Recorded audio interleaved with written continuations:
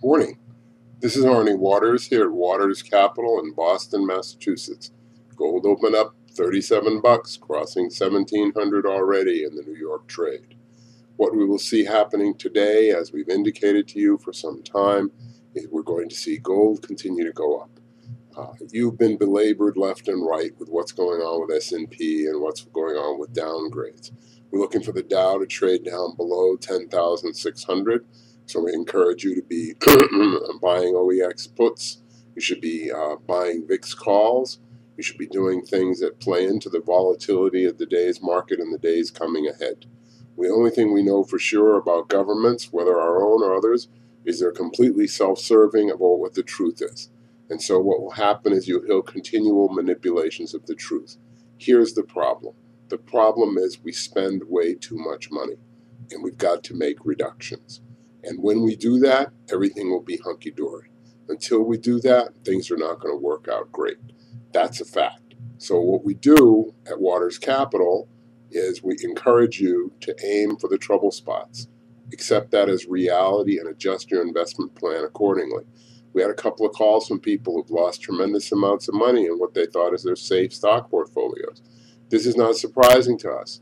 Nobody's making any money in the economy. When I say nobody, I mean no human beings. Okay, the tiny ruling elite power class is profiting. But the fact of the matter is, the regular middle class worker, the small business owner are all suffering. When that changes, the U.S. economy will get better. Now, as you know, I've always thought there should have been a public works program. I still believe there should be a public works program. We can do all the fine tuning we want economically. We're not going to get a moving forward economy. And when I say we need to cut spending, I mean we need to cut spending on stuff where Americans lose their lives every day. We need to stop spending billions of dollars and get Americans out of Afghanistan and Iraq and any other place where we're not welcome. Let's repatriate that money. Let's build our own infrastructure. Now, it's tragic what's happened with the Chinese with the high speed rail because they've tried to do things on the quick and on the cheap. The reality is, the idea is a good one.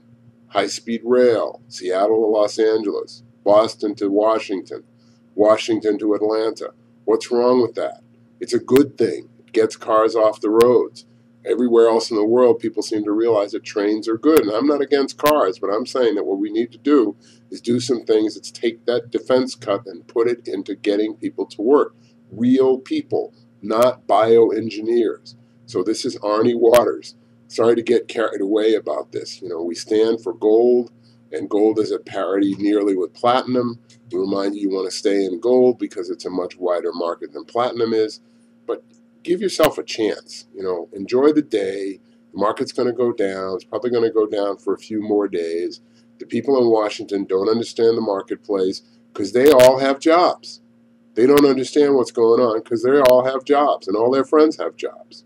When they get out to the rest of the country where people's brothers in law, people's cousins, and people's kids, kids, 25 year old kids with college degrees can't get, can't get jobs, that's why the economy is shrinking.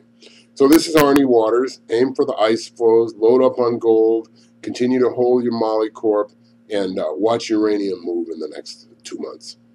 Have a great day.